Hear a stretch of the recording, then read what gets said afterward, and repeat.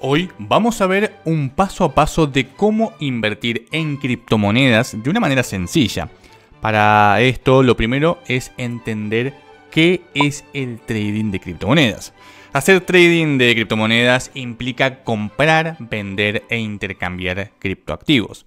Trading viene de la palabra trade, que significa intercambiar. El objetivo principal es obtener ganancias a partir de las fluctuaciones de precio de estos activos. Es el clásico comprar barato y vender caro, o invertido si es que invertimos a la baja. Estamos utilizando estos activos digitales para ganar dinero. Te pongo un ejemplo simple.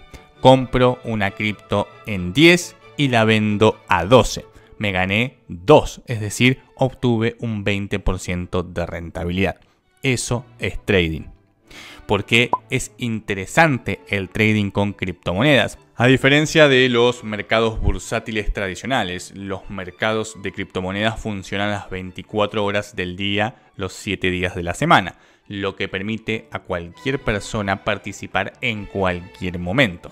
Además, las criptomonedas se pueden negociar desde cualquier parte del mundo, lo que las hacen accesibles a una audiencia global sin necesidad de intermediarios.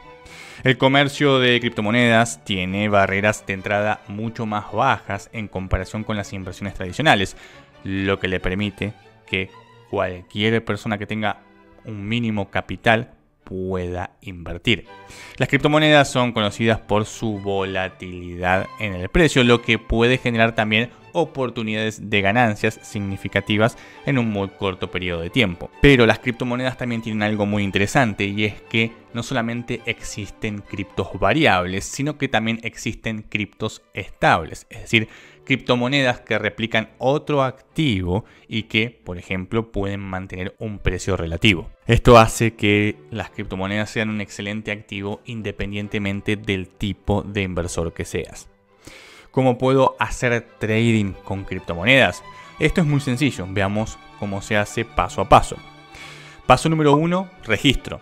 En la descripción te dejo un link directo para que te registres en un exchange que te permite comprar criptomonedas. En este caso estoy utilizando YouHodler. Te vas a la parte de arriba a la derecha, haces clic en registrarte y cargas tus datos básicos. Con eso ya tenés una cuenta en un exchange seguro para hacer trading. Paso número 2, depósito. Como toda inversión necesitamos dinero, así que tenemos que depositar. Para esto nos vamos a la parte de portafolio y ahí elegimos cómo queremos depositar. Lo podemos hacer con dinero fiat, criptos estables o variables e incluso podemos utilizar un mix de ambas. Como es tu primera vez con criptos, seguro tu opción más interesante sea la de dinero fiat. Elegimos la moneda y hacemos clic en depositar. Ahí nos van a salir las opciones de depósito que son por transferencia o con tarjeta. Paso número 3, seleccionar la cripto. Para esto nos vamos al apartado multihod, que es lo que vamos a usar para operar, y elegimos una de las criptomonedas que hay en el panel. Como es tu primera vez, lo mejor es que uses Bitcoin, ya que es la mejor cripto del mercado en términos de capitalización y de aceptación. Digamos que es la más segura en términos de fundamentales. Podés empezar con esa. Paso número 4, analizar.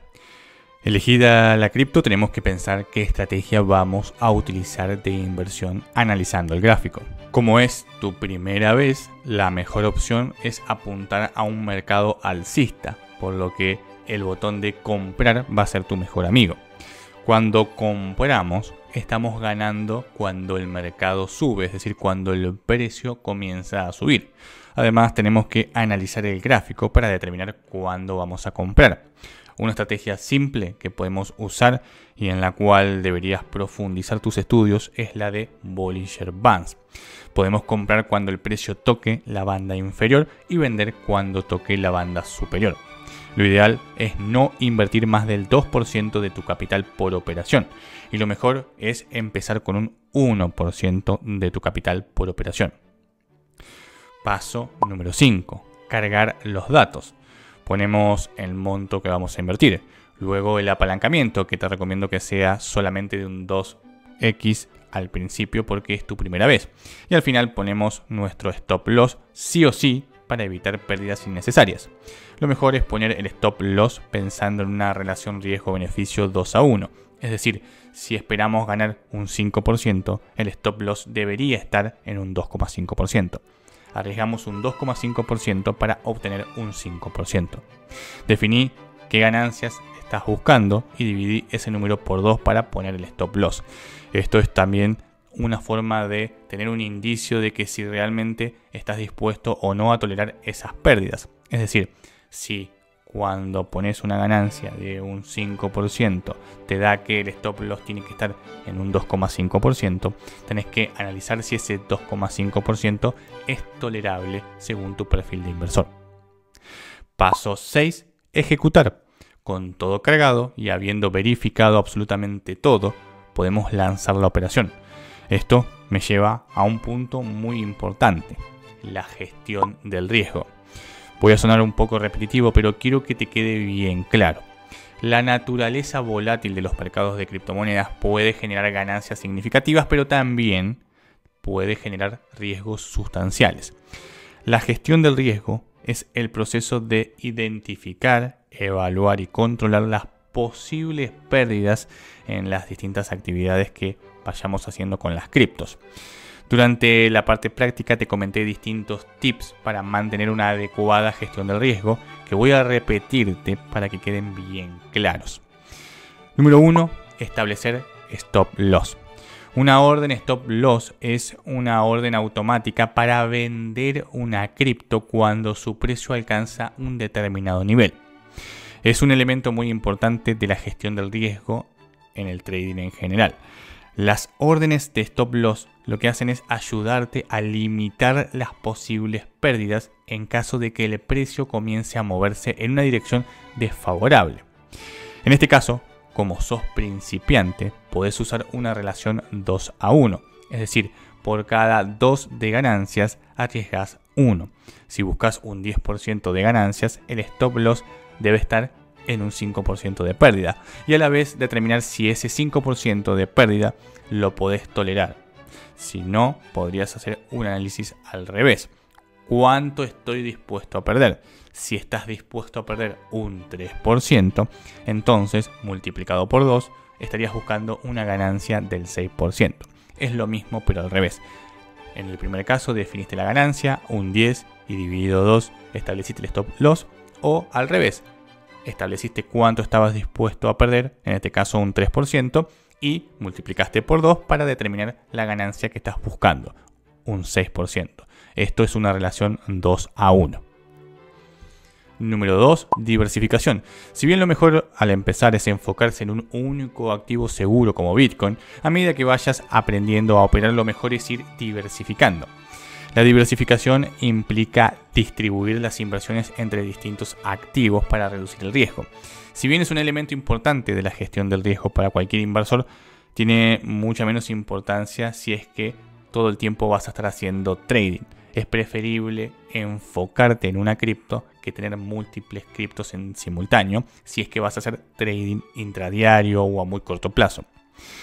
Digamos que la diversificación es interesante si es que vas a mediano o largo plazo. Número 3. Dimensionamiento de la posición. El dimensionamiento de la posición implica decidir la cantidad de un activo específico que se va a comprar o que se va a vender. Esto lo que quiere decir es que no arriesgues todo tu capital en una única operación. Yo te dije que lo normal es entre un 1 y un 2%, pero que lo mejor es siempre ir por el 1% por operación de tu capital. Es decir, si tenés mil dólares, no inviertas más de 10 dólares por operación. Ese es el ideal. De esa forma te evitas quemar la cuenta. Y a medida que vayas entendiendo cómo funciona este mundo del trading, podés subir esto a un 2%, pero no más allá de eso. Si no tenés mucho dinero para empezar, a hacer trading. En la descripción te dejo un link directo para que te registres en YouHodler y el cupón EMSPARK para que recibas chispas gratis para el juego Miner canjeables por Bitcoin reales. Esos Bitcoin los puedes usar para invertir en multihod. Déjame en la caja de comentarios cuál fue la primera criptomoneda con la que hiciste trading.